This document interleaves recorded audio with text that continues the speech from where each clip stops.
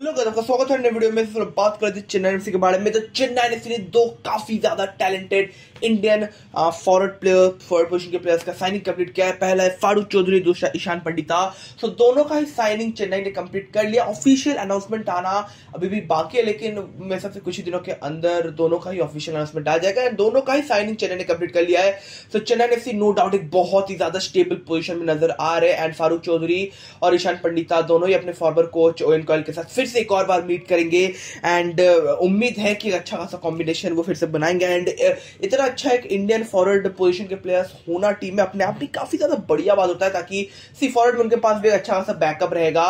And वो चीज़ काफ़ी काफ़ी ज़्यादा काम में आने वाला है चेन्नई का।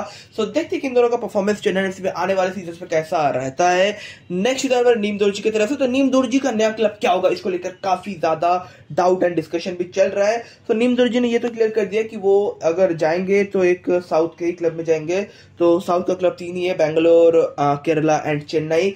अब निमदोर जी चेन्नई में जाएँगे इसका चांस काफ़ी कम नज़र आ रहा है, लेकिन हाँ बैंगलोर और केरला में जाने का चांस काफ़ी ज़्यादा है। निमदोर जी काफ़ी ज़्यादा, आप बोल सकते हो, अच्छे प्लेयर है डिफेंडर है एंड एक्सपीरियंस भी इनके पास अच्छा खासा ट्वेंटी सेवन एज इनका लास्ट सीज़न हैदराबाद में थे एंड अगर हम लोग देख ले तो सी हैदराबाद में इनको ऐसा नहीं कि बहुत बहुत ज़्यादा प्ले टाइम ऑफ़र किया गया था, वैसा कुछ नहीं है। लेकिन सी टैलेंटेड प्लेयर है, अगर इनको मौका दिया जाएगा तो इनका गेम डेफिनेटली इंप्रूव होने का चांस है। अभी के लिए आप बोल सकते हो ठीक ठाक प्लेयर है एंड हैदराबाद के साथ इनका कॉन्ट्रैक्ट भी है टू थाउज़ेंड ट्वेंटी फोर तक, जो कि मेरे सबसे म्यूचुअली टर्मिनेट कर दिया जाएगा। अगर बैंगलोर या फिर केरला के साथ डील होता है तो अब हैदराबाद मैंने इसलिए नहीं बोला क्योंकि ऑलरेडी वो उसी क्लब में तो इसलिए मैंने जब बोला कि साउथ का क्लब तो इसलिए मैंने हैदराबाद को मेंशन नहीं किया यहाँ पे। बट केरला बैंगलोर या फिर चेन्नई तीनों में से किसी एक क्लब में जाने वाला है। जितना मुझे पता है, केरला एंड बैंगलोर में ही जाने का चांस उनका ज़्यादा है। एंड इनको mostly as a backup player के हिसाब से यूज़ किया जाएगा। सो देखते कि इनका नया क्लब फाइनली क्या होता है। Next player Mohun Bagan super giants की तरफ़ से। तो मोहन बगान सुपर जायंट्स ने रिलायंस यूथ फाउंडेशन से एक प्लेयर का साइनिंग कंप्लीट किया है। इनका नाम है वियान विजय मुर्गोद एंड ये रिलायंस फाउंडेशन के यंग चैंप टीम्स में थे मतलब वो यूथ प्रोडक्ट के प्लेयर है। सेंट्रल फॉर्ड पोजिशन के प्लेयर है, सिर्फ़ 19 इयर्स एज इनका।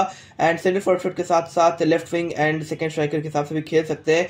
एंड ये पहले पुणे सिटी के अंडर सिक्सटीन टीम में भी थे। तो यंग प्लेयर है, काफ़ी ज़्यादा ही यंग प्लेयर है। नाइसल में इनको मौका मिल चुका है। मोहन बगान सुपर जैट्स में इनको mostly as a backup reserve के लिए रखा जाए इनको। अभी तो ज़्यादा कुछ प्ले टाइम ऑफ़र करने वाले नहीं है। मोहन बगान उनके पास ऑलरेडी इतने अच्छे अच्छे फॉरवर्ड पोजिशन के प्लेयर है। तो इनको मौका मिलना काफ़ी मुश्किल है, लेकिन एज अ बैकअप एक बढ़िया ऑप्शन है मोहन बगान के लिए। एंड इस डील के बारे में आप क्या थॉट्स है, आप कमेंट करके मुझे ज़रूर बताना।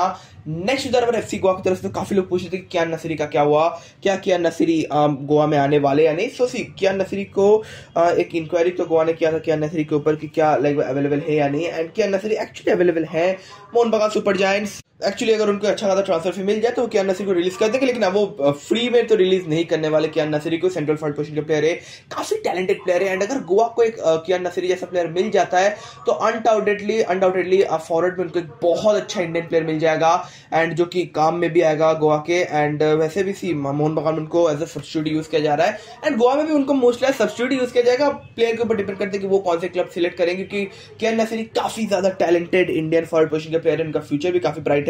तो देखते कि क्या फाइनली क्या नसर एफ़ गोवा में। आते या नहीं नेक्स्ट इधर बार्सिलोना की तरफ़ से तो बार्सिलोना ने लाइक अभी जितना र्यूमर्स है कि बार्सिलोना ने डील कर लिया नेमार के साथ बात बात वो लोग कंप्लीट कर लिया है। बस वही सैलरी को लेकर थोड़ा डिस्कशन चल रहा है एंड नेमार फिर से बार्सिलोना में वापस आ सकते काफ़ी ज़्यादा हेवी चांस है एंड जो कि देखने में अनडाउटेडली बहुत मज़ा आएगा कि यार नेमार फिर से बार्सिलोना में वापस आ रहे हैं।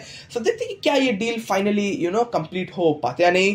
नेक्स्ट इधर ब्राज़ील की तरफ़ से तो ब्राज़ील नेशनल फुटबॉल टीम के कोच होने वाले कार्लो एंजिलोटी जो कि हम लोग को पहले ही पता था, लेकिन अभी ये ब्राज़ील की तरफ़ से भी ब्राज़ील फुटबॉल एसोसिएशन की तरफ़ से भी ऑफिशियल कर दिया गया है। एंड 2024 से कार्लो एंजेलोटी ब्राज़ील के कोच हो जाएँगे। एंड uh, उससे पहले तो वैसे रियल मदद छोड़ने ही वाले सो ट्वेंटी फोर सो ये लास्ट सीज़न हो सकता है उनका रियल मदद के साथ या फिर रियल मदद अपना कोच चेंज कर सकता है।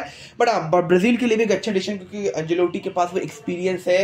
एंड वो चीज़ों को अच्छे से मैनेज कर लेंगे उतना तो कॉन्फिडेंस है एंजेलोटी के ऊपर। सो देखते कि कार्लोस एंजेलोटी के under Brazil national football team का परफॉर्मेंस कैसा रहता है। एंड क्या वो अपने उस गोल्डन ग्लोरी uh, को फिर से वापस यू नो अचीव कर पाते या नहीं एंड क्या वो वर्ल्ड कप फिर से जीत पाते नहीं जो सबसे बड़ा बात है।